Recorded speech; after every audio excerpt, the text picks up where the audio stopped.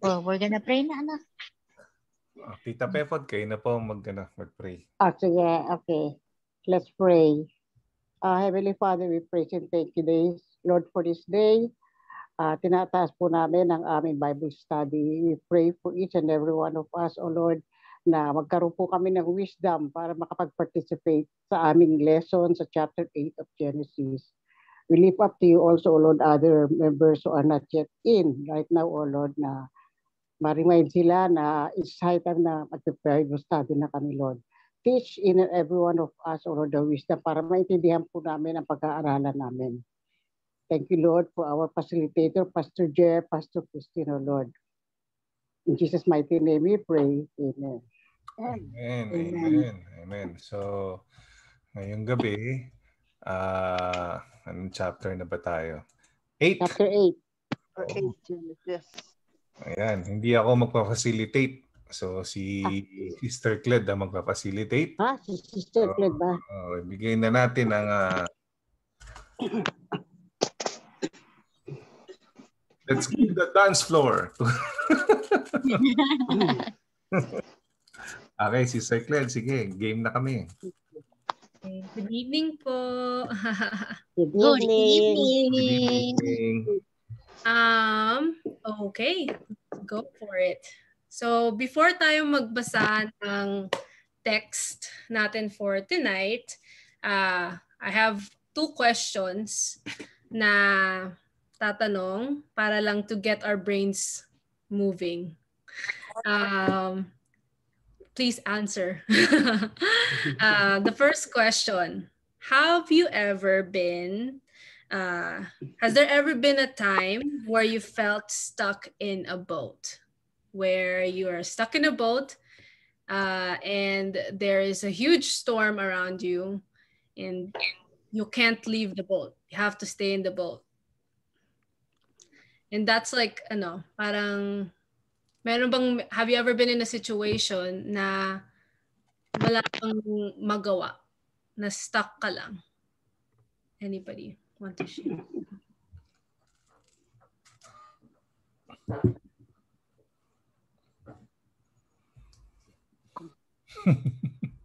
yes, yeah. Hi, Tita LV.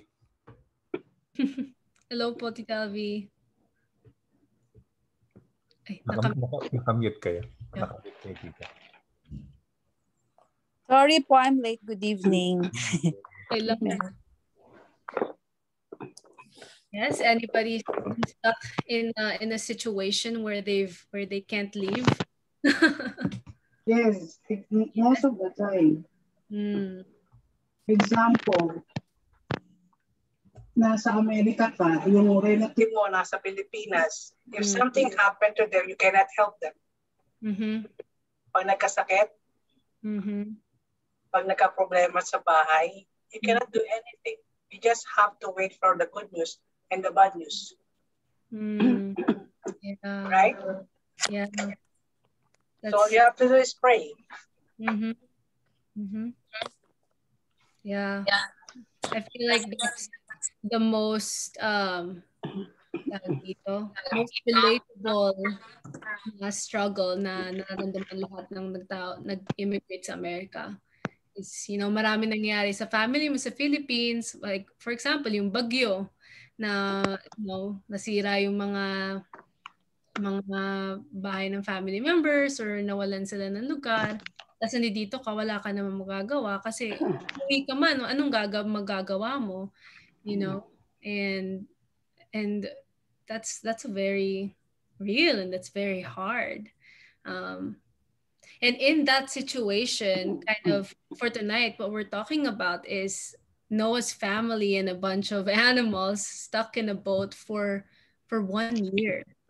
Can you imagine being stuck in a boat, being so helpless and and not knowing when the rain and the flood is going to end? Um, that, that for me, ako, that's that's very stressful. Na parang you're walking around and you're staying in one mm. place na parang it's become your exile. Pero in fact, the place that has become their exile is a place where they were saved, where they were taken care of. Even though in the moment it didn't feel like na ano, na, na ano, na necessarily it's good. Na it was hard. Um, so, you know, we're all agreeing na meron na tayong all experiences na nag-stuck, nag-stuck tayo sa boat, tapos we felt helpless. And in those moments where you've been stuck in the boat, have you ever felt that God left? Have you ever, in the waiting, did you try, oh, stay muna tayo lang. Have you ever felt God ever left you while you were stuck in the boat? Ako may naalala kong experience. Nag-conduct uh, kami ng training. Sumakay kami ng barko from Manila to Cebu. So, sumuulan yon So, same experience. Hindi naman wala namang bagyo. Umulan lang. Pero yung dalawang araw ka sa dagat, kasi mabagal yung takbo ng barko eh. Super ferry. Mhm. Takay na, sabi nga ni Shara. Pero nakakabato, nakakabato sa loob ng barko kasi ah maubos yung pera mo kakabili ng kung ano-ano kasi mamahal ng mga mga bilihin doon eh. Tapos may lumabas basta lumabas ako ng gabi, nakipagkwentuhan ako sa isang pasahero. Tapos sabi nung tripulante o yung parang ano, parang crew, sabi niya nung last trip daw nila kasi tinuturo niya, ayan po yung ano, yung Batangas, yung tinuturo niya yung bawat island. So, nung last trip daw nila, meron daw tumalon. Wow. That person tried to swim papunta ng ano, island. No, so ay hindi, try to swim to swim away from the island. So automatic pala 'yun, ah inaano, pinapatay nila yung makina and they will try to save the person. Pero ayaw magpa-save ng tao kasi lumalayo siya sa barko, no? Hindi siya papuntang island, papunta siyang gitna ng dagat, no? And uh, Abo, kung totoo, sabi nila, iniwan na lang nila. Hindi ko alam kung totoo yun. Ano? Pero nakakalungkot kasi uh, siguro yung tao may depression, tumalon o whatever. Pero pag hindi ka sanay sumakay ng barko, hindi ka taga doon, siguro pagka sanay ka na, okay lang. Pero pag hindi ka taga doon, first time mo, nakakalungkot. Nakaka... Basta may sisik talagang tinatawag na masusuka ka, tapos malungkot, maalon, tapos lalo na paggabi, ang lamig-lamig. And na, na, na, na-experience ko talaga kung ano yung na-experience sila Noah. Pero yung sinakyan ko, super ferry pa yun. Pwede kang umorder sa sa kwarto mo ng pagkain. Kila Noah, hindi. Kuha ka ng itlog doon sa may, ano, sa may itlogan ng manok, di ba? So, pero yung lungkot na, na nakita ko siya eh. Na, napipicture ko siya kung gaano kalungkot. Yeah. Yeah. isipin mo for for the entire year. Pero actually may- maybe na ma, mas ma tag dito, ma-identify na yung feeling na kasi they were on quarantine on sea. And the entire year we've been on quarantine and the only people we saw, I mean, I mean, we're coming out of it, pero the, that time when we were in full quarantine, the only people we saw were our family members. So isipin niyo yung parang like yung frustration siguro nararamdaman ni Noah, yung mga anak niya, yung mga asawa ng anak niya, like they're all frustrated na there's no other space to go to. And it makes me wonder, I wonder if if they tried taking matters in their own hands. If they, you know I don't know, I, I don't know, have you guys ever thought about that kung nung sa tingin nyo na, na yung what was going through their head while they were in the boat? Actually, mas maraming nag-commit ng suicide nung, nung COVID times eh. Mm-hmm. Yeah. So it's just like they, they were stuck Yeah. somewhere. Mm. So most of them affected, not all, most of them are educated. Mm-hmm. They were students, they were colleges, they were entrepreneurs, but most of them are aware of what is happening in the world and yet natalo sila ng lungkot. Mm-hmm. Eh, mas worse yun sa time nila Noah kasi lahat umiiyak eh. Sumisigaw. Noah, saklolo, help. Nalulunod lahat eh. Bata, matanda, hayop. Mm-hmm. So that's depressing. Di ba? Kasi yung tayo, nakikita mo sila, yeah. opo, napapanood lang natin sa news na namamatay, ganito yung numbers. Di ba? Because of COVID, kita natin sinusunog yung mga bangkay sa India. Depressing na yun. Pero how much more, pag dungaw mo ng barko mo, makikita mo yung mga tao nagmamaawa sa iyo. Open the door, please. Mhm. Papasok na kami, di ba? And you can't kasi God closed the door. It was it was not Noah. Naalala nyo, sinabi doon sa last part, God closed the door. So pag sinarado ng Diyos, di mo bubuksan. Mm. Mm. Yeah. Yeah. Yeah, so that is kind of the the framework or the kind of like siguro yung yung parang ito yung mga mga things na hindi nasulat sa Bible. Kung ano naramdaman nila exactly, kung ano naramdaman ng mga anak, yung asawa, and all these things. And I mean, these are the times where where we are given the mm-hmm. opportunity to imagine. Kasi at the end of the day, the Bible is something na is is very identifiable for us as humans. Kasi these are stories of people who have failed. And these are stories of people who are trying to be obedient. And these are stories of people who are trying to love God. And I think uh, I can safely say sa, sa Zoom na to, it's that we are all trying to do something similar. So I just wanted to give us like kind of like that framework and to think about it na in a way not to humanize the story. Na it's not just something na parang oh binasa lang natin. Oh, tapos biglang we'll come to a conclusion that's so beautiful. Because it's not. It's it's it's beautiful pero it's hard. Na sometimes sa journey natin as Christians, there's it's not always rainbows and sunshine, di ba? There's a lot of flood. There's a lot of flood moments na stuck tayo sa boat. Oftentimes, we put ourselves in those boats. And then oftentimes, God ushers us into a boat so that we can find safety, even though it doesn't feel safe, even though it feels so confusing while you're, you're in the boat. So, yes, all right. Um, let's read Genesis 8. You please put up Pastor Jeff. Awesome. Thank you. Um, so what we're gonna do is we're gonna read um, the first chunk of the passage first, and then we'll discuss it.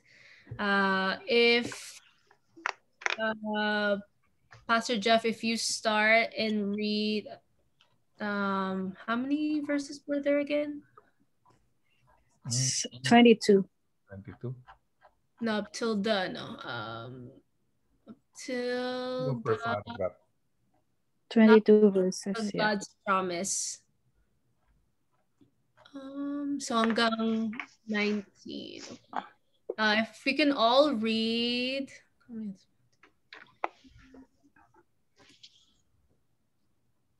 Uh, we all read three verses each.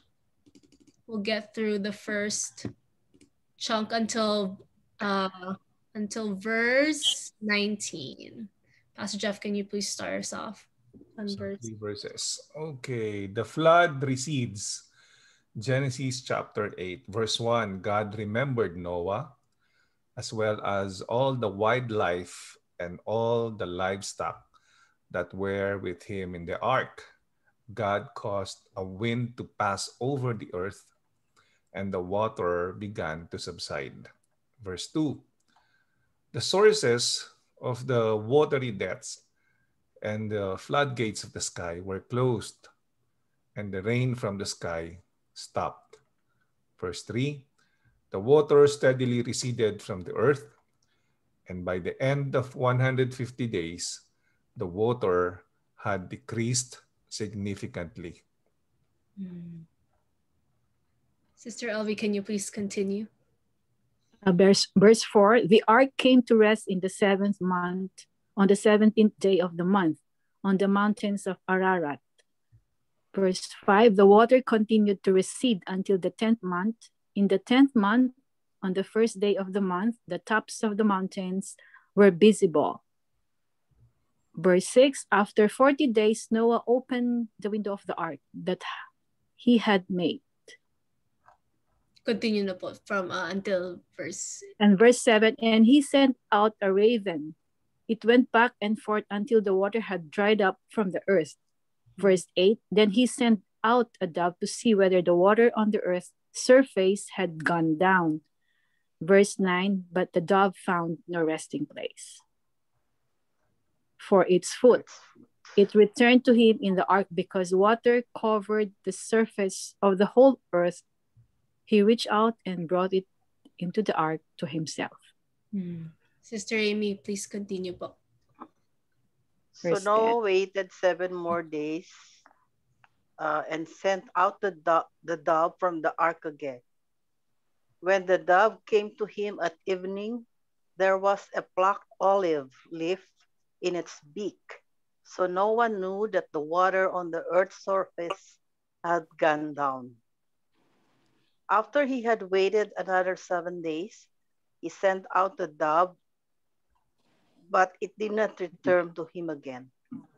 Hmm. Sister Lennon, I continue po.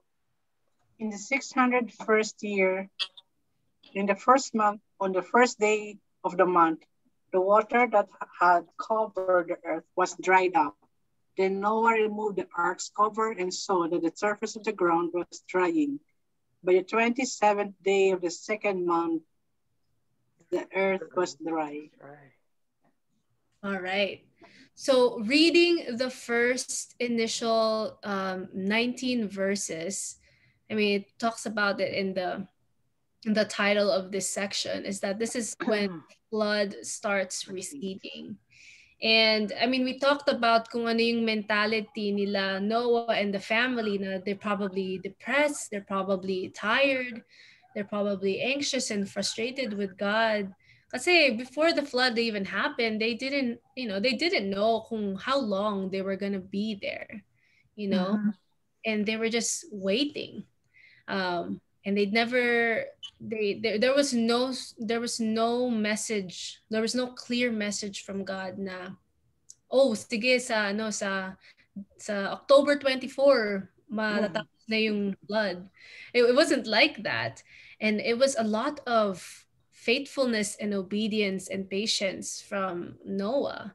Um, so reading it initially what were some things that stood out to you ano yung parang oh ano parang reading this again I didn't realize this kind of na na napansin niyo Ako, ito, yung God caused a wind to pass over the earth and Mm-mm. water began to subside. Unang-una, kumbaga, perfectly, no, the Lord is in uh, perfect control.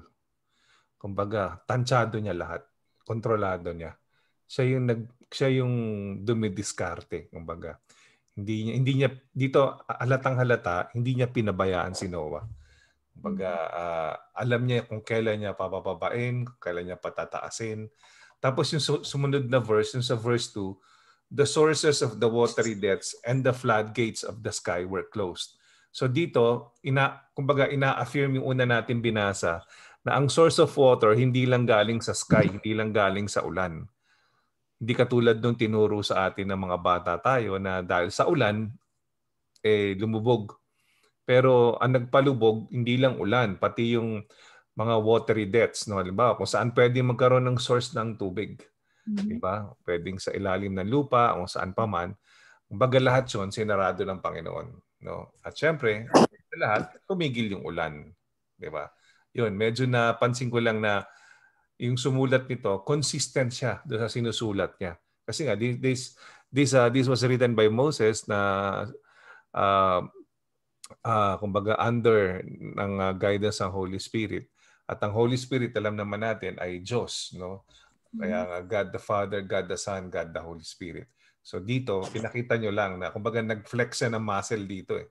Na ako yung Diyos. Ako talaga yung nag-cause ng baha. Ako rin ang cause kung batihin to ang baha. Parang gano'n. So sa akin, reminder lang na whatever people are going through, pwedeng pahintuin ng Diyos anytime pag ginusto niya. Yes.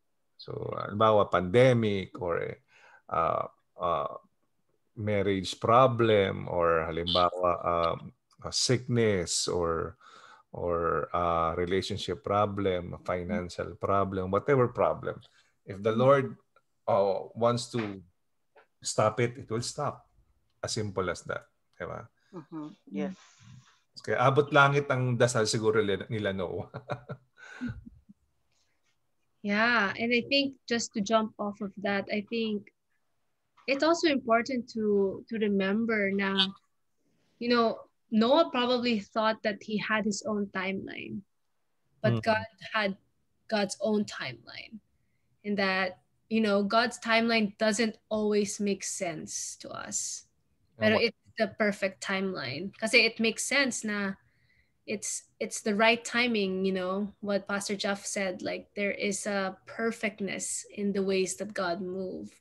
And sometimes when we try to step into things na hindi pa tamang oras, we get hurt.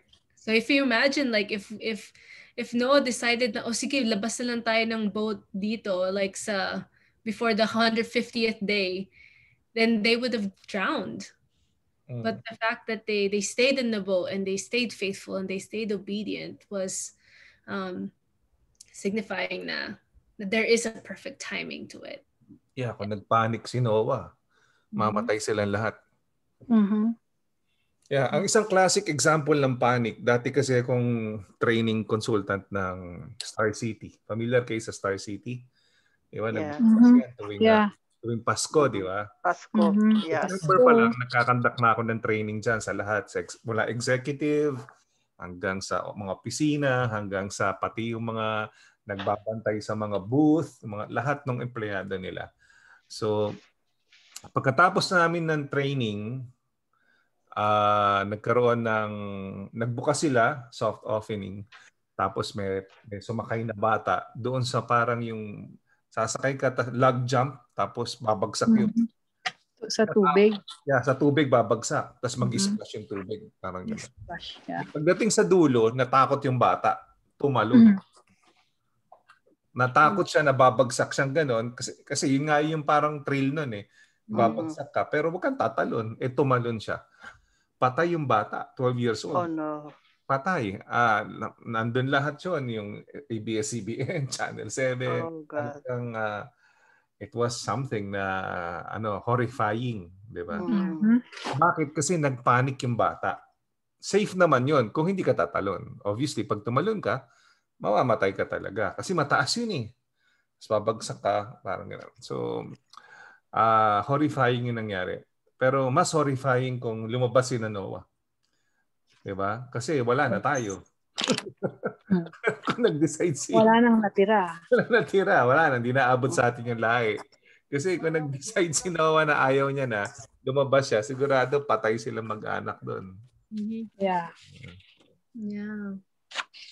Mm. Sister Elby, do you have any um thoughts? Oh, so I think sa ano, I I will jump to verse 4 na. Mhm. Are we done with the 1 and 2 and 3, right? Opo. So, yung ano sa yung 4 nakita ko sabi niya the ark came to rest. Siguro nakik ang I, I I can just imagine ano nung nasa tubig pa sila, 'di ba? The, the ark may be shaking, 'di ba? Parang iba-iba yung kahit pag nasa boat ka, 'di ba? Sa barko or anything, 'di ba? Bisan magalaw. Mhm. Mhm. So, kahit naman sa atin bilang Kristiyano, minsan merong mga ups and downs sa buhay natin, ano? But the Lord will give us rest. Sabi niya parang it will come to pass that this will end. Parang ganon. Hmm. Yung restlessness mo eh, ah, parang mawawala din if the Lord ah, if if you will really have ano, we will trust the Lord. Well, Sila nagtiwala lang sa Panginoon eh. Mm. 'Di ba? Si, eh, they have sabi nga eh na- meron silang yung faith nila and then they trusted God. Yeah. So whatever is gonna happen sa nandun kami. So I will know that they, they'll know that it will come to pass. Mhm. Mhm. 'Di ba? It will come to pass. This Mm. will come to pass. So, so, so ganun din sa atin sa bilang mga Kristiyano. So we we come into sit in a situation that sometimes we don't really understand what's going on uh, around us. Sometimes we just uh, we are we are just parang nagaan na nagaano tayo parang nag-wonder bakit nangyayari sa atin ito Mm. and we have Jesus in our hearts. But we just don't know those are just uh, uh, uh, uh, uh, mountains to climb. Katulad ng sa kanila, it's the water, no? Yung mga yung mga mountains and mga mga circumstances, they are just a, a stepping a, a stones or they are just uh, ano ba yan, parang hakbang na lalo ka pang tumibay sa sa, pan, sa sa faith mo sa Panginoon.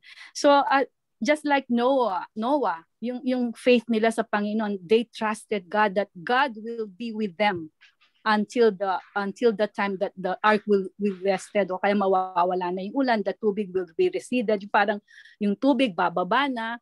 Mhm. So ganun din sa atin bilang mga Kristiyano. Parang nakita ko dito yung rest. So magre-rest tayo. So the Lord will just give us joy on sabi nga weeping may come for a night, night but joy cometh in the morning. Di ba? Amen. Amen. No, yun ang na- nakita ko doon. It was really So yung parang Tita LV, yung no mask policy, eh, yun na ba yung rest natin? ah it kasi kanina I was out ano, I was Mm. out pero I, I was out sa kanina na naglakad ako along dito sa may Beverly Hills because Mhm. I was in the bank. Ah, naglakad ako, nagpark lang ako ng sasakyan somewhere. Tapos nakita ko almost everybody ano, wala nang mask. Yeah. Nagpunta sila sa may Beverly sign, Mhm. nagpunta sila doon. Siguro nagkaroon ng rest for a while. parang Yeah. konting konting rest lang, parang konting freedom. Yeah. Pero you you also have to ano to protect yourself. Kasi 'di ba not everybody is vaccinated or what. Parang Yeah. ganon. So hindi tayo magkakampante rin. Katulad bilang Kristiyano we should not be ano yung parang complacent yung hindi tayo magkakampante. So we have to work it out Yeah. just like what's gonna ha- what's going on today. Mhm. So so we should we should ano parang ah, ano ba tayo aware so sa lahat ng mangyayari. Kasi hindi natin alam nagalis ng mask.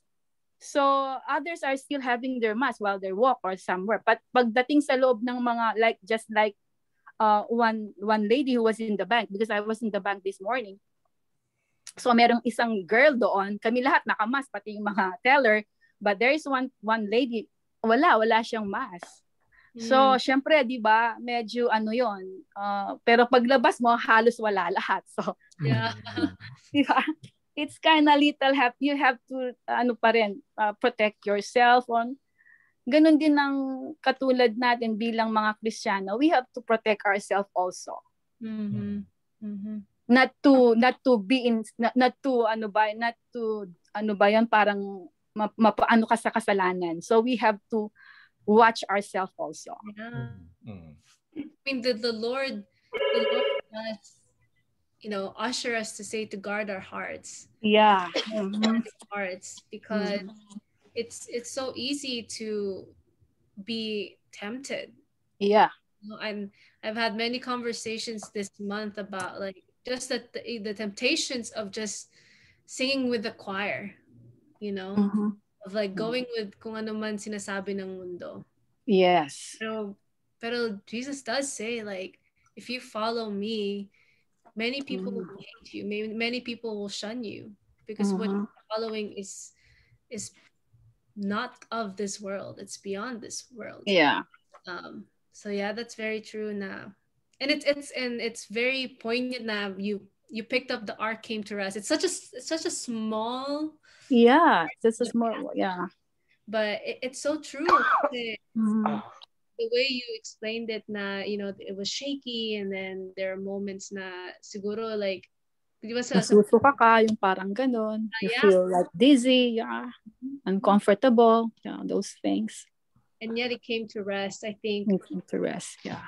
I think that's important to remember na as Christians as we go on through our lives there will be That we, really do feel tired Yes. there will be moments of rest pero sometimes when we seek for rest pero when we seek for rest but by ourselves it's not rest Yes. That makes Mhm. sense. Na parang parang fake na rest.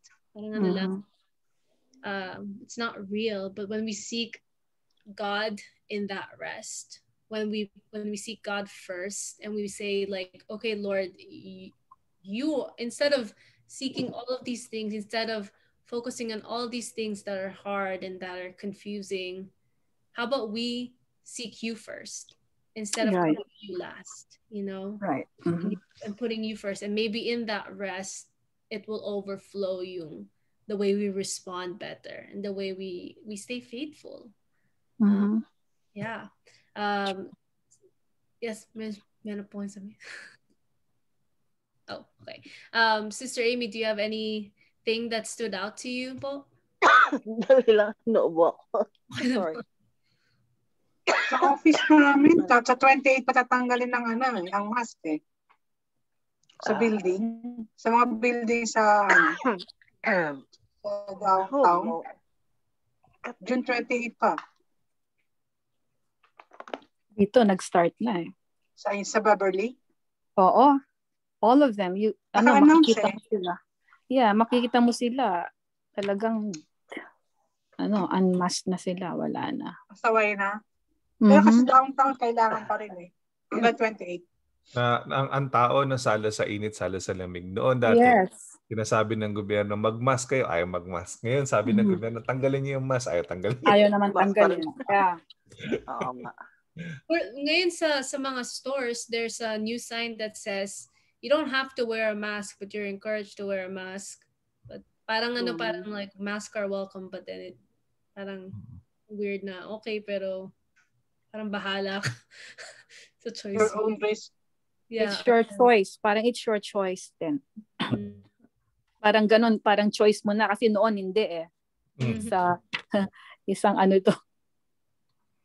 Pero syempre, masarap talaga walang mask. Yeah. Go ahead, Sister Amy, meron kang sabihin? Um, ganun din talaga sa kahit na sa buhay natin na meron mga rules and regulations na meron ng gobyerno, lahat. Pero alam natin, I mean sa atin pa rin 'yon kung ano, alam natin kung anong tama at mali, 'di ba? So, ang wisdom ay hinihingi pa rin natin sa Panginoon kung ano ang dapat gawin para tayo ay nasa tamang nasa tamang landas sa ating mga Mhm. ginagawa. Mhm. So kahit na sinasabihin nila na huwag ka na mag-mask, alam natin na may dangers pa rin dahil hindi pa Yes. vaccinated. Mm-mm. So on guard pa rin tayo. Yes. Kaya nga ang ano yung ah, ano yung may breastplate of uh, Righteousness. mga. Righteousness. May shield, Parang may helmet of salvation, the shield. Yeah. helmet, lahat. Yan. Oo. It's all Kailangan faith. isuot pa rin natin lahat 'yon sa sa sa buhay natin.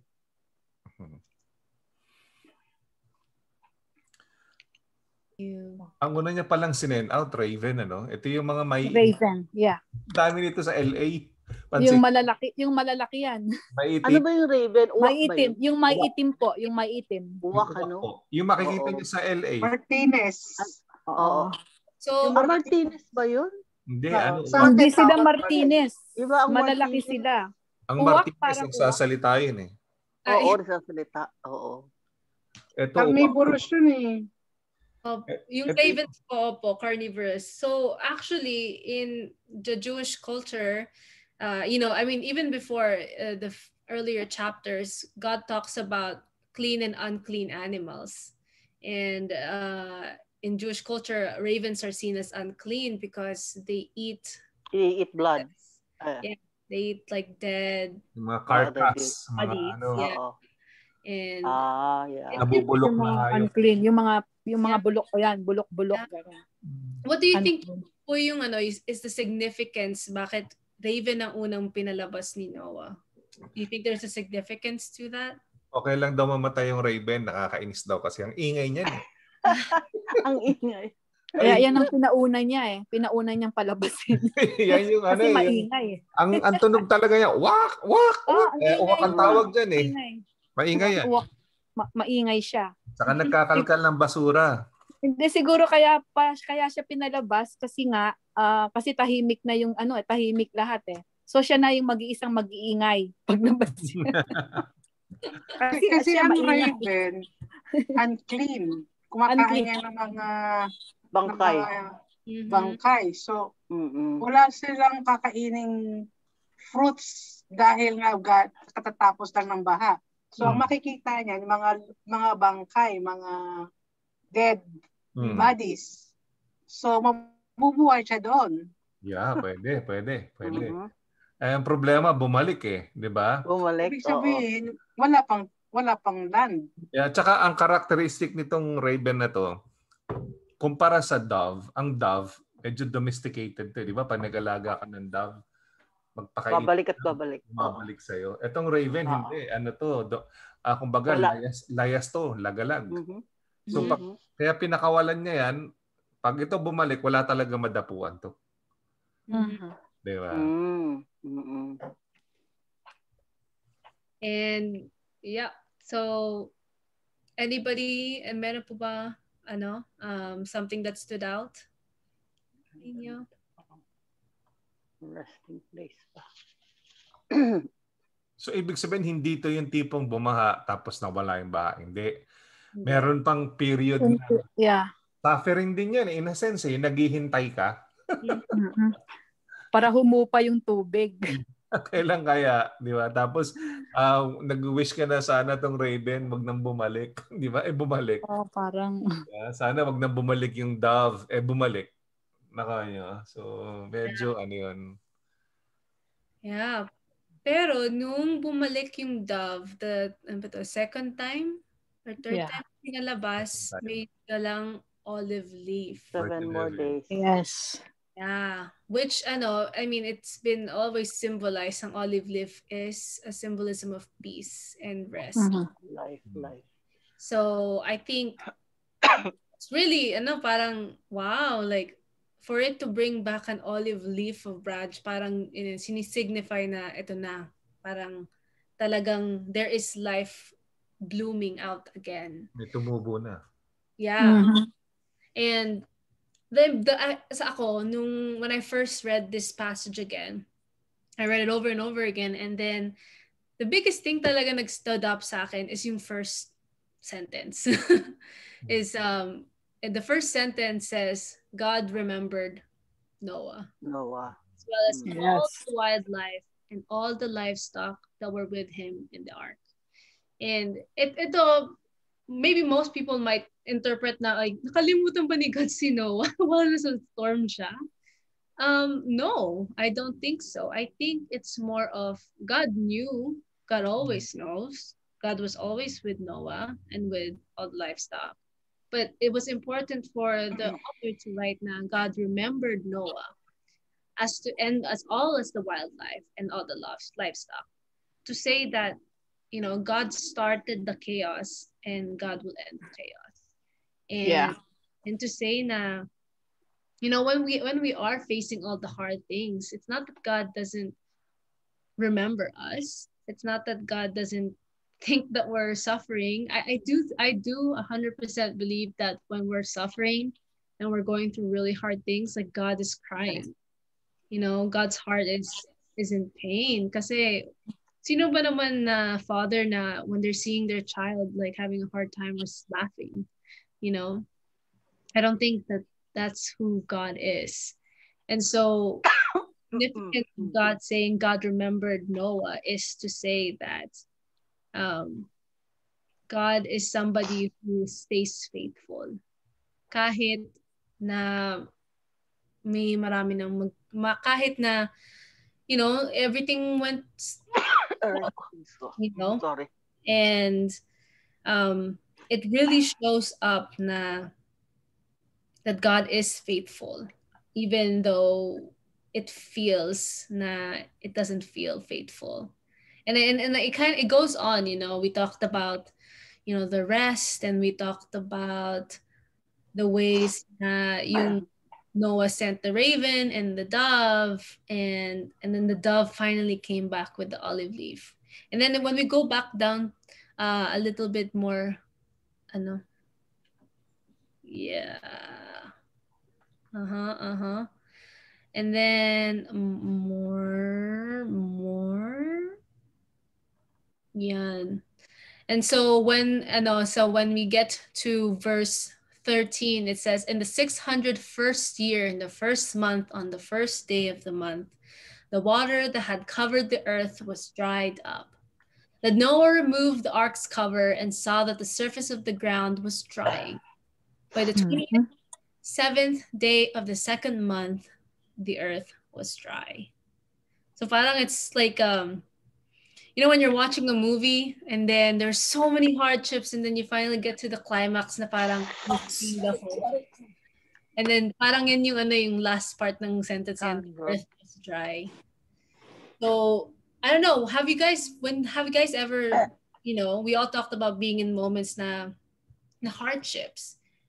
How would you describe the moments now when the earth was finally dry sa inyo? Like, can you share an experience na parang you really saw God in the moments when the earth was finally dry? Mm. Ako siguro yung mga tao na pag nakita kong may sakit, tapos gumaling na, lumabas na ng hospital, parang tapos na yung baha sa pamilya nila. Then, uh, Yes. As their pastor, you pray, you're, you're praying for them and uh, binibisita mo sa hospital.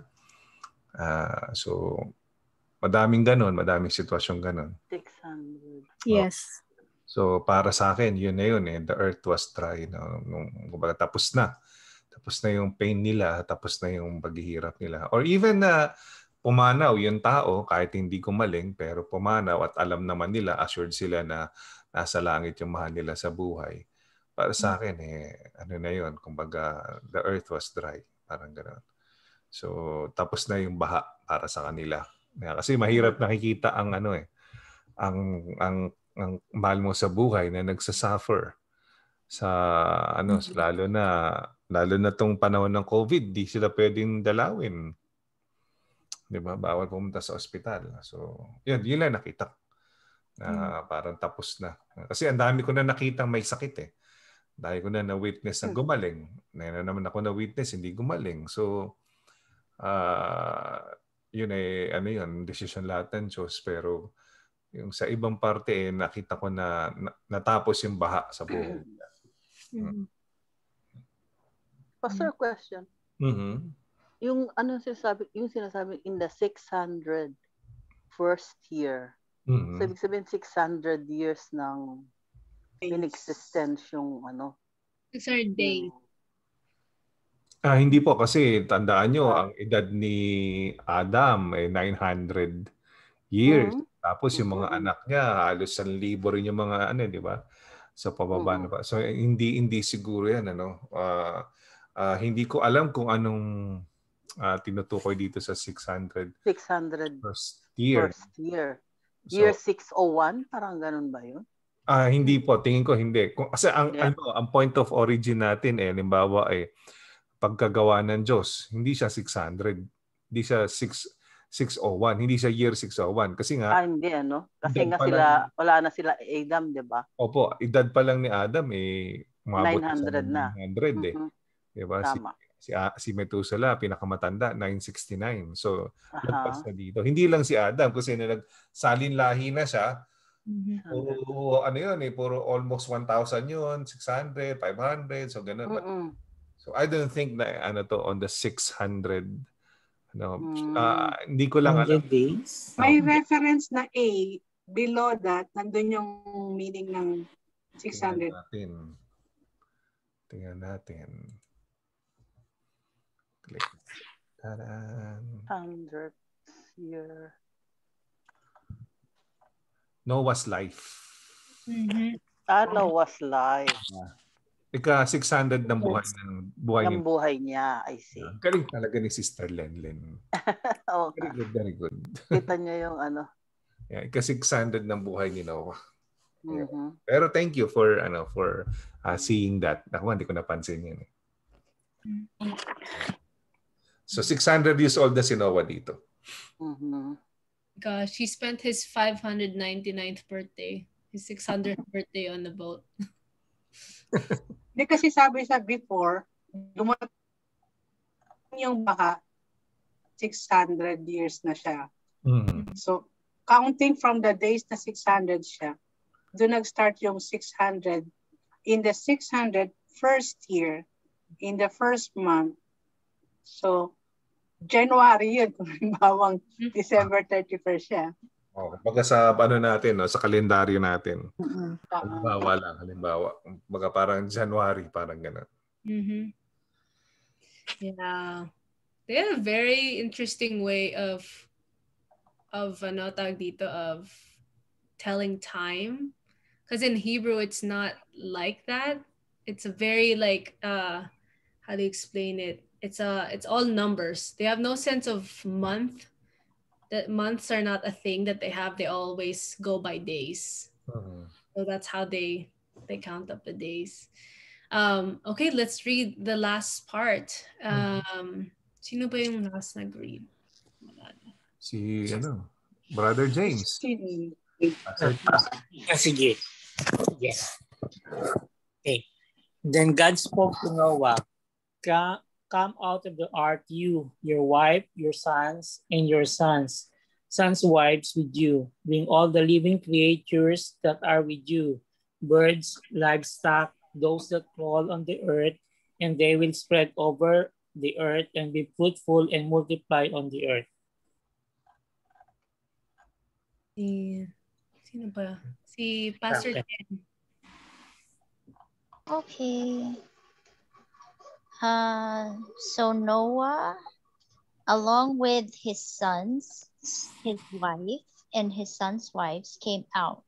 All the animals, all the creatures that crawl, and all the flying creatures, everything that moves on the earth came out of the ark by their families. Then Noah built an altar to the Lord.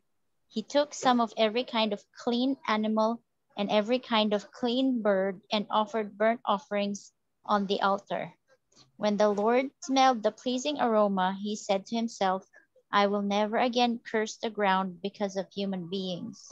Even though the inclination of the human's heart is evil from youth onward. And I will never again strike down every living thing as I have done. As long as the earth endures, seed time and harvest, cold and heat, summer and winter, and day and night will not cease. Hmm. The Lord. The Lord's It's promise. promise. Yeah. Promise. It's a promise. Yeah. This is, um, this is actually just a promise. This is in the next chapter for next week. You guys will talk about the covenant, which is different, uh, in a sense. But the Lord's promise, uh, it's interesting because when it starts in verse 15, it says, um, the first being that speaks, the first the first conversation that we hear in this chapter is not from Noah, it's from God. It's from God. Yeah. And it talks and it it's it's a it's a order to say come out of the ark. Man. bring your, bring your family, bring out all the living creatures. And and this is kind of like the moment where we come so even in our lives now, you know, we've been staying in the ark or we've been staying in the boat and we've been waiting and waiting and waiting for God and then God finally says, come out. And I think that's such a, a powerful moment for Noah. And the fact that Noah stays faithful enough to hear the words of God to say, come out, I think is, um, I think that's hard to do as humans. I think in all honesty, we, we tend to be people na, ang tagal naman ni God. Labas na nga muna ako. And then pagkalabas mo, ang dami nangyari na, na unexpected. Dahil you weren't obe- obeying to what God is um is giving you. Like you you were trying to work in your own timeline. Mhm. And and it's ano kasi when when God calls out to Noah, it says bring out all the live creatures that are with you and they will spread over the earth and be fruitful and multiply on the earth. Now that kind of like sentence of be fruitful and multiply on the earth, we find that in the first chapters of Genesis when God commands Adam and Eve to multiply and be fruitful on the earth. It's kind of like this notion of like God's renewing that second promise. Na I am a God of fruitfulness and multiplication and abundance. And you, um, people who are left and the animals who are left are the means to this abundance of life. So kind of like a reminder to us that we are called to to be ano um we are called to be people that transmit that kind of abundance to other people. Um and it, so it continues on in the end. Uh, if you could bring it up, thank you. And then we see that when Noah comes out of the ark, what was Noah's first response? To build an altar. To build an altar Mhm. to the Lord. Noah built an altar. Uh, Give, give thanksgiving. Yep, that's correct. So the way in which Noah responds is in praise. Mhm. And I think oftentimes in our lives, when we come out of hardships, ano po ang response natin? What is our first response sometimes in your experiences? Nagmamaktol. Hmm. Complain. Complain? Ano po ba? There's some Hmm. bitterness. Ano po? Parang, Worry. Worry. Mhm. Disappointment. Disappointment. Mhm. yeah, parang galit ka, ganun. Galit ka. Hmm? To find things to, an uh, na, an, malibang ka. Mm, mhm. Oh, nag- ah. Yeah. So we we find ourselves now when we come out of you know that that both our first responses are bitterness, nagpupol, Mhm. naghahanap ng other reasons na to blame. And Mhm. I, I think sadly that's kind of our our pattern humans. That's the the pattern we've come to na when of complaining na or you know it starts with Cain and Abel na like wow I'm not my brother's keeper bakit ako nag-aalaga sa kanya nung pinatay niya yung kapatid niya? Or like when you know even in later on it's like um when Joseph's brothers decide to um sell him and lies to deceive their father. And there's so many times when we come out of like hardship that our first response is bitterness. And and yet we see it in this portion that no first response is praise. And i think that's something that we all need to learn. Um, that for me is very challenging is to say thank you god for that hardship. I feel like that's a hard thing to say. Um, and sometimes when you when we talk about na oh let's thank god for our hardship it becomes difficult to do that. Kasi parang like I don't know it, it feels na siguro na we're not state na na parang we're minimizing the the hardship or pain pero God never minimized the flood sa binasa po niyo, did God ever minimize the chaos, the flood that God kind of like let happen, that God produced? Like, God never minimizes the pain and the suffering and the hardship. And yet, when God does allow provision for Mhm. us to find the rest and to find the Mhm. peace and to be able to get out, Mhm. Ang tanong ko, ano, reminded that. ang ko, ah, ano, bakit naging pleasing aroma kay Lord Mm. yung ah, Yeah. yung yung ah, inoffer ni ni Noah? Ano Yeah. sa palagay niyo? Kasi he, he took the best uh, Hmm. kind of animal and bird as burnt offerings. Mhm. So, kumbaga hindi hindi hindi niya tinipid si Lord ah. Mhm. He, ga- he gave the best Oo. offering. Oo. So So pag binigay mo yung best kay Lord, natutuwa siya. So ano Yeah. yung mag ano yung magpapaano sa iyo? Ano yung magpapa ah, mag, paano ka darating sa punto na magde-decide na bibigay mo yung best? When you are feeling blessed. Okay, yeah, blessed ka kasi buhay ka pa eh, di ba?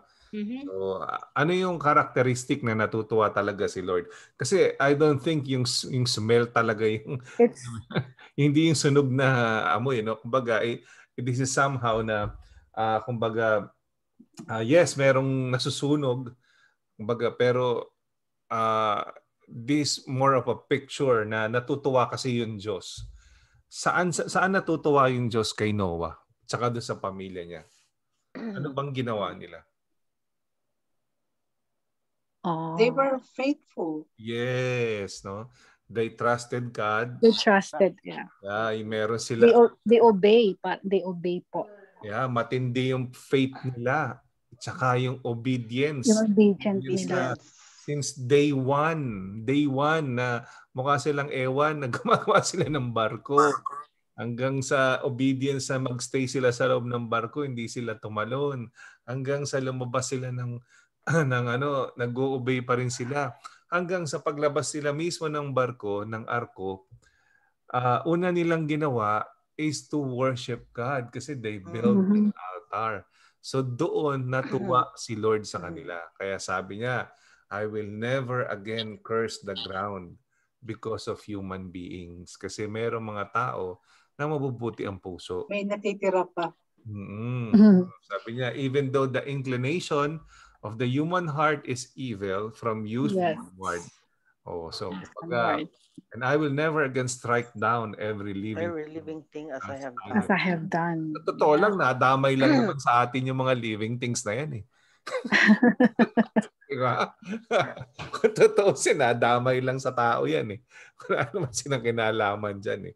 Diba? So, ayun, natuwa yung Diyos, no? Kaya naging pleasing aroma sa Kanya.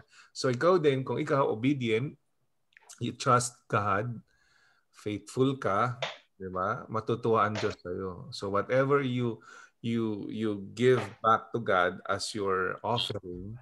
Pwedeng pera yan, pwedeng tithes mo, pwedeng offering mo, pwedeng time, pwedeng serbisyo mo na nag, ah, nagbibigay ka ng ah, ng ah, tawag nito, nagbibigay ka, nagsasando ka ng kanin pagka kumakain sa linggo or nagkakamay ka ng mga tao or nag ah, nagpapaupo ka, nag alam mo nag-ushering ka o ano pa man ang ginagawa mo na para sa Lord. Lahat yan pleasing aroma sa Kanya. Kasi ang tinitingnan niya yung heart mo, hindi naman yung kakayahan mong gawin ng isang bagay. Kasi I'm sure hindi naman perfect yung art, hindi siya ganun kaganda. Dahil amateur lang si Noah eh. No, hindi yan kamukha ng Titanic o Super Ferry. Pero yung natutuwa si Lord, yung yung yung heart talaga na nag-obey sa kanya, di ba? Itong willingness po. Yeah, yung willingness na. Kumbaga, Pastor, yung boat niya survival. Ah, oo. Mag-survive lang. Yeah. Pwede na. Yeah. Tsaka, yun nga, ano, nabanggit ni Sister Ned na hindi, hindi, hindi pa to yung covenant. Diba? Yung covenant, yung rainbow yun eh. Sa kabila yun, sa susunod na chapter, next next Friday, si Pastor Bert ang magtuturo. Pero, ito ay tungkol pa dun sa pinangako niya, di ba? Pagka, sabi niya, as long as the earth endures, seed and harvest, no, sa Tagalog, habang nagtatanim at pag-aani, cold and heat sa oras ng panahon ng taglamig at tag-init. No? Summer and winter, day and night will not cease. Diba? So, kumbaga, yun yung pangako niya. Kaya kita niyo naman, every morning, uh, nag-renew yung kanyang faithfulness. Di ba? There are new every morning. Oo, oo. Diba? So, hindi, ang maganda sa Diyos natin, hindi bengador eh. Unlike natin mga tao, bengador, di ba? Pag may ginawang mali sa'yo, tandaan mo yan, weather-weather lang. Dating ng panahon, yari ka sa akin. Ganun tayo eh, di ba? May araw ka rin. May araw araw. ka rin. Ikot ang gulong ng buhay, di ba? Ganun. Bilog ang mundo. Bilog mga tinuro sa atin ng mga pelikula noong ano, napanood natin ng mga bata tayo. Ano, ba? So, ang tendency, bengador tayo. We, we, ano, we love vengeance. Di ba? Ang Diyos hindi eh. Ang gusto niya, magbago ang tao. Maging katulad niya. Di ba maganda yung kanta eh, yung ano eh, Make my heart like yours, di ba? Sabi ng kantang yun. Mhm. Baga, gawin mo yung puso ko na kagaya ng puso mo. Yun ang gusto ng Diyos. Hindi yung, wala naman siyang mapapala talaga in a sense na mag, maging bengador ang Diyos eh. Di ba? Kasi ang gusto niya, lahat, mahalin niya. Ma makabig niya papunta sa kanya. Unless na lang magpumiglas yung tao, ayaw talaga, eh, gagalangin ng Diyos ang desisyon ng tao. In fact, kung si Noah nag-decide na ayaw niya, di ba? Maaring ah, pwede naman na hindi mangyari yun, di ba? At maaring ibang tao ang mag-oo. Nakuha natin. I think, Pastor, hindi hindi sinubukan niya na si Noah for 500 years eh. Mhm. Bago niya ginawa yun eh. Yeah. Hindi si Noah. Yung pinag-uusapan natin yung maturity, niya, di ba? Oo. Bakit? kasi Ano? ilang beses na ang tao hindi nagkakaroon ng, hindi nagtatanda eh. Hmm. Pero pag continuous na nahihirapan or continuous na, na bumabalik yung situation, natatandaan nila yun. So Yeah. for 500 years, I'm sure marami siyang tested na ano. Natututo tayo sa Marami siyang nadaanan, dinaanan. Oh, dinaanan. sabi nga ay natututo daw tayo sa ating mga pagkakamali. Yes. We grow Oh. mga ano. Yung hindi nag-grow, namamatay. Oh. Kaya nga, kaya nga, na, na, nababansot, kumbaga. Oh, di ba limbawa linggo-linggo dumadaan ka ng I-5. Tapos linggo-linggo sarado yung I-5. Saan ka pa rin ng daan? Mag-grow ka ba noon? Aba, yung- Humanap ka ng ibang daan, mag-side streets ka na.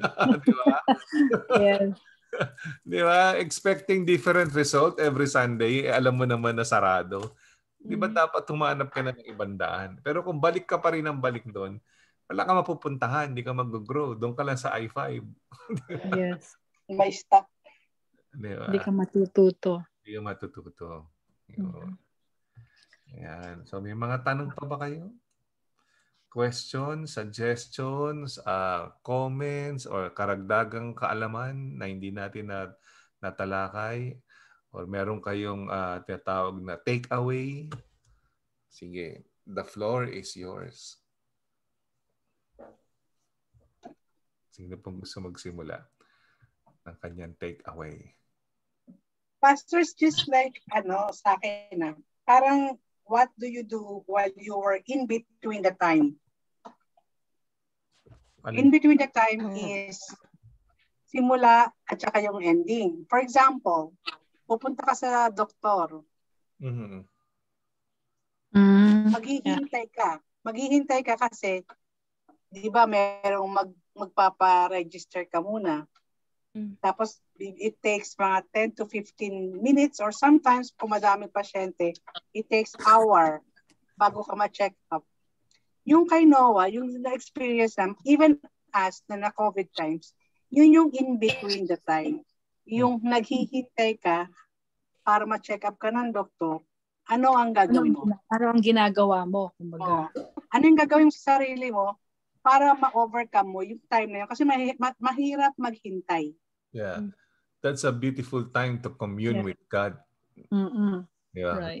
Yung iba, Noah. Yung mga kabataan, may cellphone eh, di maglaro ka. Mhm. Mm-mm. Yung mga matatanda, Magbasa ka. trabaho, iniisip yung trabaho. Oo. Mhm. Di ba? So, yung iba naman, nag-iisip kung ano yung sa meeting nila. Mhm. Or yung iba, ano ba yung sakit ko? Mhm. Yeah. Di ba? So, Nag-aalala. yun yung quality, yun yung quality time na tinatawag na yun yung time na you can say quality, are you going to use it or waste it? Mhm. Manalangin, di ba? Kasi Right. ano bang ibig Yeah, sabihin ng manalangin ka, pero kung masyadong mahaba yung oras, what's the other way? O pero pag nanalangin tayo, dapat gamitin natin yung effective way of praying. No? Yeah. Kasi alam ba ibig Yung iba sabihin? nagro-rosary, Ang ibig sabihin nun ay may dalawang bata na tumatakbo, no? Sabi kasi nung isang bata, Ali ka na, umuwi na tayo, tumakbo na tayo. Sabi niya ganun, umuulan na. Tapos yung Oo. isang bata, tumakbo, sabay sila. Pero yung isang bata, may daladalang balde. Hindi pa umuulan ha, pero may dala na siyang balde.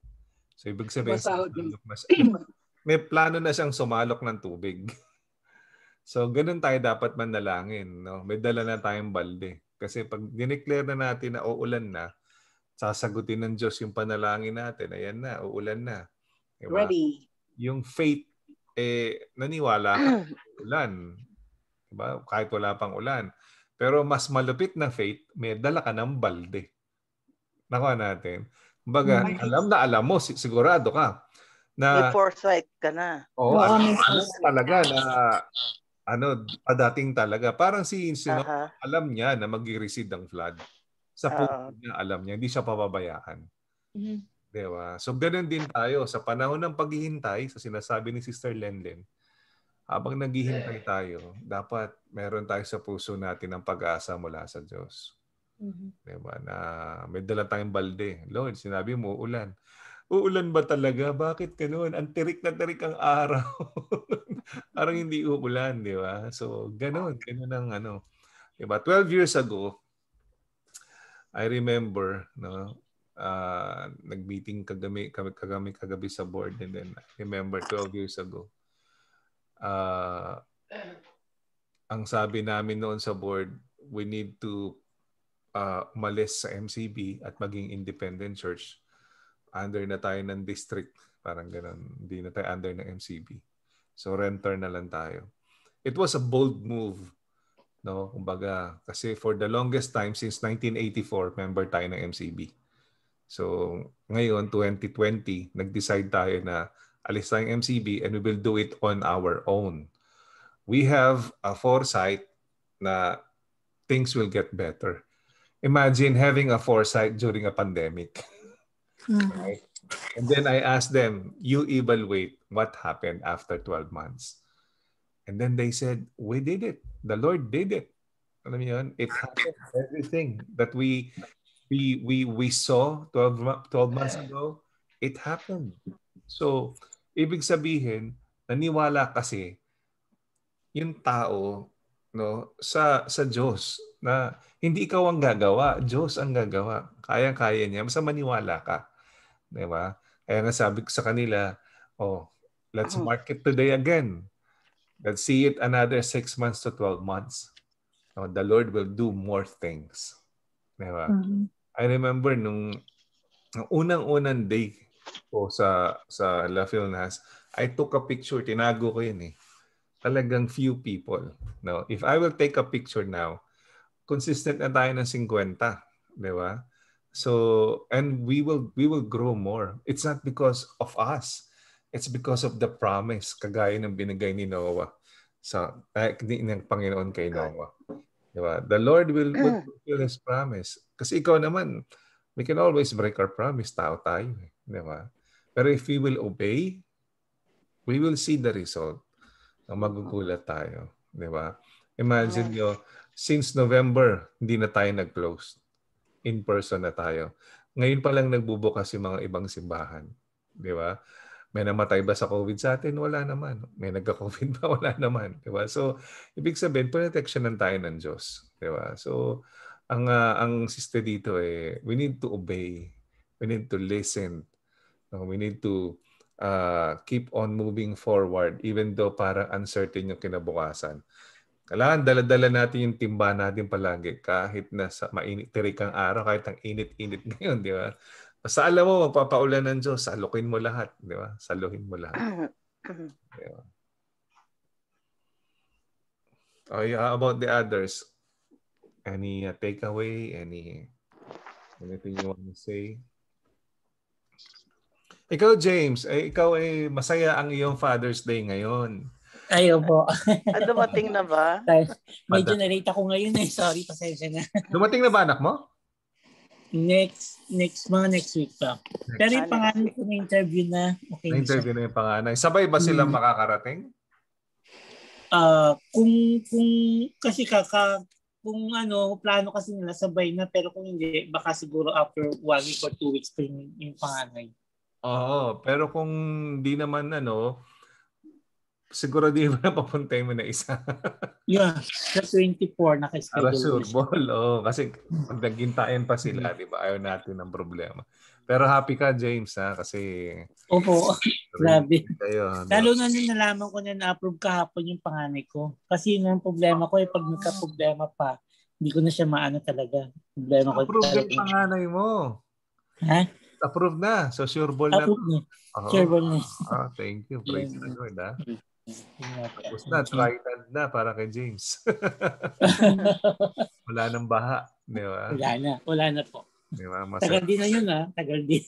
Oo. Ilang taon ka nag, Tagal nag-antay, Brother James? Ako, taon? Oo. Tagal din yung sa akin pa lang. Tagal din eh. Hindi, yung Ah, ano, pag-antay mo sa mga anak mo, ko silang hindi Francis. nakita. Oh. Sampung taon. Sampun taon mo Sampung silang taon? hindi nakita. Oh my goodness. No? Ng personal ha. Yan. Sa, sa ano ko lang, sa mga ano ko lang sila ano. Sa, No, yan damo na yung bulsa mo. Bibili mo. Bibili mo na nabili na ng- nga ako ng kaunting gamit. Shopping, shopping. Shopping yan, pagdating. Oo. Ano ka, nung pagdating namin, eh, kala mo, dampot kami ng dampot, yung pala, mamahali. Kasi hindi naman namin alam na bago lang sa Amerika. Eh. Pero masaya, masaya rin. Masaya, masaya pa rin. Yeah. So, yan, happy si James. Happy kami para sa James. Salamat. Salamat. Sinagot yung mga prayer natin, di ba? Yes. Man. Amen. Oh, Pastor Tim, tanggalin mo na si si Bishop James doon sa ating ah, prayer ah, dahil ah, nasagot na.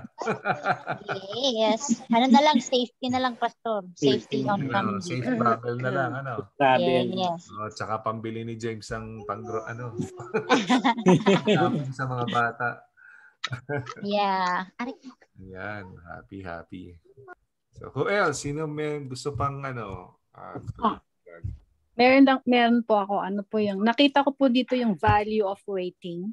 mm, The value of waiting nung nasa ark na sila, sila Noah and the family. mhm. Nakita ko po na yung, yung, tinut, yung nat, natuto silang mag-wait. Yeah. tinuturuan tayo ng Panginoon to wait. So even even when it means to makes us na ano parang anxious, parang stress out, annoyed, yung mga ganon. Pero ano siya pa rin ang nagbibigay ng hope sa atin. Mhm. So nakita ko dito yung value of waiting kahit sa ating mga bilang mga Kristiyano. Pag nagpe-pray tayo, we, we also we, meron po siyang mga ano doon, it's either yes, it's either no or you you have to wait. Yeah. Pinakamahirap pa naman maghintay. Yes. So nakita ko dito yung va- yung yung ginawa ng Panginoon kina Noah, Mhm. yung value of waiting. Yes. And nandun yung trust nila, yung yung yung yung, yung obedient, yung ganon. Nakita ko nakita ko siya doon. Mhm. Yun po yung nakikita ko ganun din yung ah, yung sa atin. So we should also ano para pong value nating lahat yung mga nangyayari sa atin. It's not just na parang uh, na parang yung palaging ano yung pong palagi tayo nang hihina. Kasi talagang dumarating po yung sa atin bilang isang Kristiyano. Habang habang nag-wait tayo the Lord is teaching us something. Parang tinuturuan niya tayong to be patient. Mhm. wait wait patiently parang ganon. That you have to yung humble ina-humble niya tayo. And and tapos doon yung parang he is really making us mature in Christianity when you wait ganun din po ang nangyari kay kay, kay Noah and the entire family so yan nakita ko so ang gandang ano yan sa ating sarili that- we can see how God did to Noah Ay, yung yung faithfulness ng Panginoon Amen. Amen. Yeah. Ayan, natuto tayo kay Noah. Yes At sa family niya. sa family niya Mobile din yung family niya, nasunod eh. yeah Imagine nyo kung nag-away-away sila dun sa loob. Yeah, uh, para po ang nakikita ko napakatahimik ng mga anak. They didn't even say any word, 'di ba? Kung makikita niyo po doon, wala silang salita. Si Hmm. Noah lang talaga yung parang sumunod lang sila. Ginagalang din nila yung tatay. Ginalang nila, oh, ginalang nakita mo rin doon yung how they honor their father, how they uh, respect their father. Hindi sila kumibo, hindi sila wala silang reklamo. So they just wait and they just follow. Teka, kahit yung asawa din ni Noah. Opo, kahit yung asawa, yun nga, the entire family and even the livestock, kahit na po yun, tahimik din sila. They didn't, uh, hindi sila lumipad, hindi sila lumabas doon. They did not, wala silang ginawang anumang. If you will see, yung pong, kung, kung, kung parang may imagine mo lang, yung parang ganon. Yeah, y- yung mag-asawang Leon eh. Puro prutas mo nang kinain. Hindi mo na, hindi mo na kumain ng tupa kasi mawawala yung lahi pag kumain. sa- Yeah. Diba, na, nasakmal na siguro ng Leon yung ano, halimbawa yung ano. Okay, nag-away-away na Luwa mo sila. yan, Yung, luwa mo. Maw- Mawawalan, mawawalan ng lahi yung kambing, iluwa mo. yes. Ayan, so, how about the others natin pa? Ako po yung ano, um, after ng ng storm, ng flood, Mhm. yung may ano, may mga nagbo-bloom, may buhay, kumbaga. Mm, So yeah. parang sa sa atin, yung mga problema natin, pag natapos, kumbaga parang may something good will come out of it. Mm, Parang ganun. So, ayun, parang ganun. Yeah, yeah, Hindi yeah. ko ma-explain masyado, pero parang ganun. I know. Ah, ang pag ah, sprout ng olive na yun eh. Yeah. It's life. At saka siguro, yung ano, yung nag-bloom yung mga flowers siguro, may mga namungang mga puno ulit, parang ganun. So, kumbaga parang pagkatapos ng storm, hindi pa katapusan ng ano, Hmm. ng buhay. Parang ganun. Parang itong pandemic, di ba? Nakita niyo yung nangyari sa China. Nakita nila yung ano, yung itsura nung ah, ng ah, Beijing, ng ah, Wuhan, ng ano, yung yung kasi yung before pandemic, maitim, mausok. Yeah. Oo, ngayon wala kasi nga 'di ba nag-lockdown. So, yun yung ano, yun yung parang napahi- nakahingay si Mother Earth. Nakahinga ng konti. Kasi walang mga biyahe ng eroplano, walang biya- yung mga pabrika halos padami nagsarado, di ba? So, kumbaga nakahinga ng konti si Mother Earth, parang ganun. San taon din yun, di ba? So, may magandang effect din. Nag, nagbali ka na yung mga katulad sa harapan ng bahay namin, no, may nangitlog na ah, hummingbird no dalawa yung dalawa o tatlo yung kanyang itlog na pisa tapos sa makaraan ng dalawang linggo pagtingin namin kanina wala na lumipad na so kumbaga eh kung ah, sabi ko nga sa Pilipinas yun malamang napaglaruan na ng mga bata yun ba? Kasi pag, di ba, pag may nakita tayo, oh, kunin mo yan, oh, ibon, di ba? Parang ganun, Mhm. mga bata. Di ba? Tita LB, may sabihin ka? Um, eh, yung pong sinabi ni Pastor Tin, parang yung sinabi niya kanina na after the storm. Yung nakikita ko po doon, after the, the storm, meron pong pag-asa, meron hope. Mhm. You will see sunlight, parang makikita mo na yung liwanag. Mhm. O, na, may liwanag na. Parang, ah, parang nakahinga ka ng maluwag kasi Mm. because the storm, wala na yung storm, wala nang baha, wala na dyan. Meron ng liwanag. That you know that there is God na nandyan ang Panginoon. Kasi in- sino ba naman ang makakagawa ng liwanag? Sin- Sino makakagawa ng, di ba? Siya lang. So, siya lang, sa kanya lang nanggagaling yung light. Mhm. So parang nakita ko doon, there is hope in everything. Kahit na ano pang mangyari sa atin, kahit na, na even we, we, we have so many circumstances or mga mountains to climb, but there is still hope. That at the end of the tunnel, sabi nga, there is light. Yes. Di ba? Parang ganon. Yes. Yun po yung nakakita ko talaga Mhm. for it. No? Kayo, Tita Amy, meron kayong Ako, last words or anything? Ako po meron. Mhm. Ang napapansin ko dito po sa Amerika, parang ah, dapat abundant life dito ano. Mhm. Dapat ang mga tao masasaya lahat. Mhm. Mhm. Ah, pero bakit marami kang nakikitang mga homeless, Homeless. Mhm. mga nag ah, nagre-resort sa violence, may mga Asian haters diyan, Mhm. may mga gun ano, yung mga namamaril. Mhm. Ang hirap talag ang hirap isipin na dahil walang Diyos, wala silang hindi nila kilala ang Diyos. Mm. Mhm. So, nagiging miserable ang buhay nila. Mm. So, kahit nasa magandang country ka pa, kung wala ang Diyos sa buhay mo, Mm. wala rin, eh, pariwara rin ang buhay mo eh. Mm. So, importante talaga na maging ano tayo, maging obedient tayo sa Panginoon, hindi tayo maalis sa kanyang sa pagsamba sa kanya. Yun Mm. ang yun ang napansin ko, pastor. Yun ang Yeah, parang yung, yung sitwasyon ni Noah na Mm. nung una hindi naman maganda yung sitwasyon niya, di ba? Tapos mm, pangalawa, nung lumabas na siya, ang ganda ng sitwasyon niya dahil kanya yung ano eh, kanya yung buong paradise eh. Kumbaga, Oo, sila na. Di ba? Sila na yung magsisimula, di ba? Walang problema yun, di ba? So, parang ganun din, ha? tayo, sabi nyo nga kahit na nasa maganda kang lugar, pero kung wala naman Diyos, kasi si Noah, kay maganda yung sitwasyon niya o pangit yung sitwasyon niya, may Diyos sila eh. Mhm. So tama yung sinasabi nyo na kahit na Mm. Nasa pinakamaunlad kang bansa nakatira, kung ah, wala ka naman Diyos, di mo siya ginagalang, di mo siya nirespeto, di mo siya minamahal, wala kang relasyon. So you will also live a miserable life, di ba? Miserable. Oo. Oo, oo. Yeah. Pero kung kahit na sa probinsya ka, sa Pilipinas, at Mm. nagsasaka ka doon o nangingisda, pero may Diyos ka, eh masaya ka. Nahi ka na ka. Yeah, wala kang mas-mas doon sa probinsya dahil na ma- social distancing doon. Kapit-bahay mo, isang kilometro layo. Ang layo. Diba? So, kumbaga, ang, ang, ang, ang, para sa akin, tama kayo, ang kasiyahan, base kung meron kang Diyos sa puso o wala. Eh.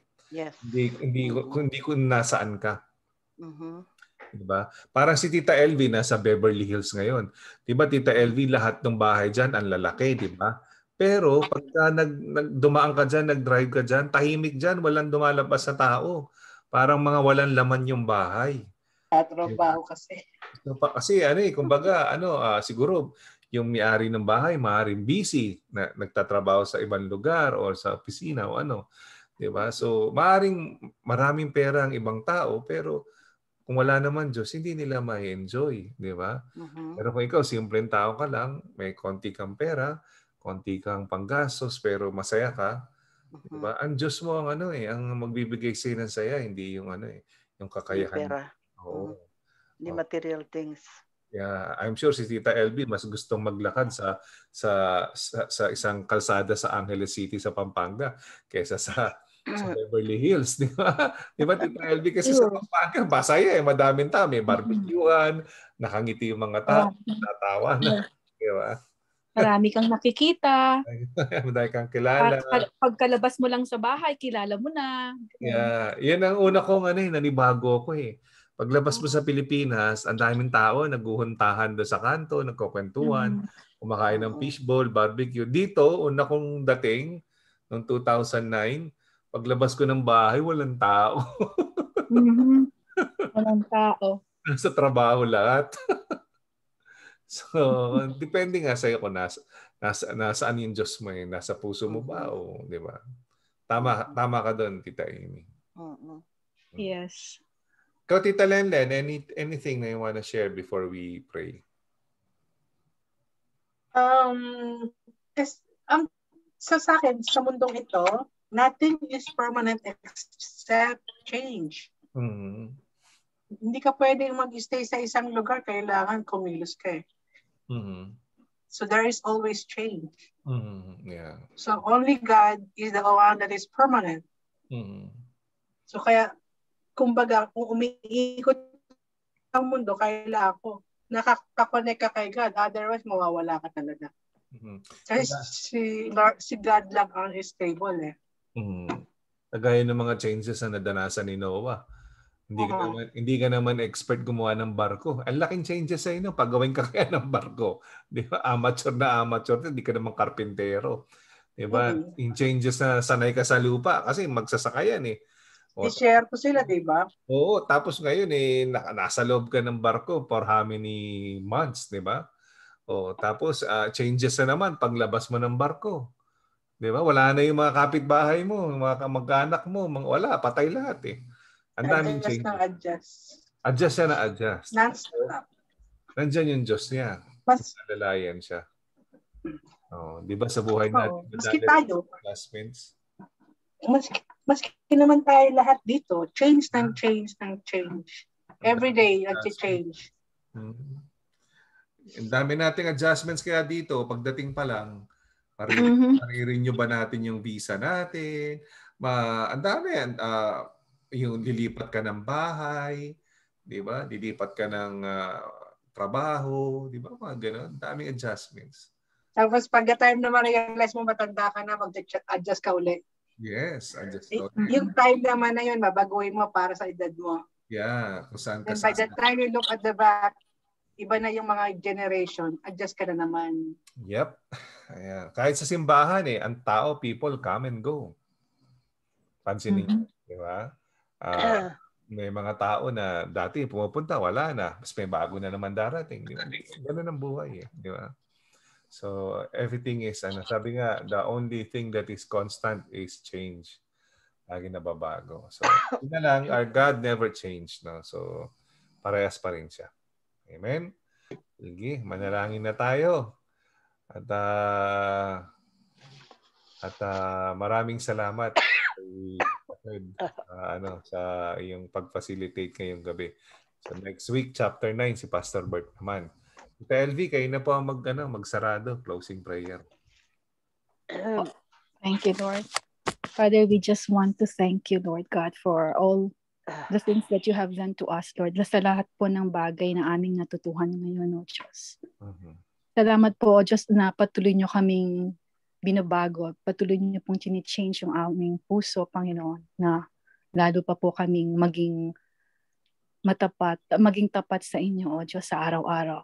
Hindi lamang po sa mga bagay na gusto namin, Panginoon, kundi sa mga bagay na gusto ninyo, O Diyos. Mhm. Kaya po sa sa gabing ito, Panginoon, patuloy po namin i ino-offer ang aming mga sarili sa inyo, aming mga puso, lalo na, O Diyos, na ito'y patuloy niyong baguhin, Panginoon, Mhm. upang lalo pa po kami maglingkod at magpatuloy sa sa kalooban niyo sa amin, O Diyos. Mhm. And Lord, we as we as we rest tonight, O Lord God, instill to us, Lord God, na na lalo pa po kaming manatili sa inyo, O Diyos, ng, the more the, the more that we will serve you, Lord God, and we will love you and to know you and seek you more, Lord God, Mhm. sa araw-araw po, O Diyos. Kaya po, dalangin ko po sa bawat isa, Panginoon, na manatili po kami, Panginoon. Maging faithful po kami, Panginoon, hindi lamang po sa sa panahon na kami masaya, sa panahon na kami maraming mga bagay na nakukuha o mga gusto namin na na aming tinatangkilik sa panahon na ito, O Diyos. Kundi pati sa panahon na kami wala, O Diyos. Mhm. Pati sa panahon na kami may mga problema, O Panginoon. That we will desire more of you, Lord Jesus. Lord. Sa araw-araw, O Lord. Mhm. Kaya po sa oras na ito, Panginoon, ah kayo, pa, po- kayo rin pa rin po ang siyang aming pupurihin at pasasalamatan sa lahat ng oras na aming mga ginagawa, na aming ginagawa, O Diyos. That you will be with us every day, Lord God. That we will seek you more and we will desire more of you, Lord Jesus. Yes. Kaya po sa i-bless niyo po ang bawat isa sa amin, Panginoon. Salamat po sa aming tagapagturo ngayon, Lord God. May you bless her, Lord. May you encourage her. May your protection be upon her also, Lord God, and even the whole family, Lord God. And we were blessed, Lord God. Salamat po, Panginoon. Patuloy niyo nga po kaming bigyan ng joy sa aming mga puso as we serve you.